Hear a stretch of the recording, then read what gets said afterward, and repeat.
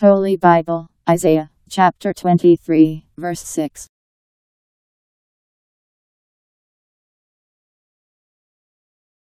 Go over to Tarshish, give cries of sorrow, O men of the sea land.